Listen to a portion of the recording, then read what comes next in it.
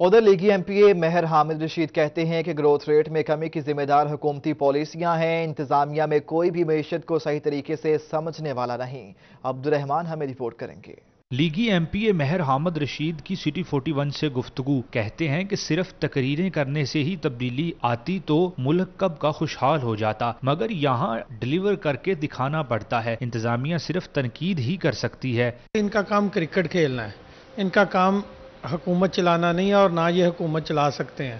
اور یہ دیکھ لیں، آپ نے، انہوں نے کیا ایک کھیل کا میدان بنا دیا ہے، جھوٹ کے امبار لگائے ہوئے ہیں اور کنٹینر پر چڑھ کر یہ جھوٹ بولتے رہے مہر احمد رشید کا کہنا تھا کہ صنعت تقریباً تباہی کے دہانے پر ہے مناسب توجہ نہ ہونے کی وجہ سے مڈل کلاس مزید غربت کا سامنا کر رہی ہے۔ کسی طرح پارلیمنٹ کو بھی چلنے دیں اور اس ملک کا نظام بھی چلنے دیں معیشت چلنے دیں تاکہ یہ ملک آگے جائے اور یہ جس طرح گراوٹ ہو رہی ہے اس, اس ہمیں تو کسی جنگ کی ضرورت ہی نہیں ہے۔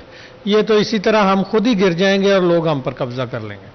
لیگی ایم پی اے نے مطالبہ کیا کہ صنعتکاروں کو اعتماد میں لے کر فیصلے کیے جائیں تو حالات میں بہتری آ سکتی ہے۔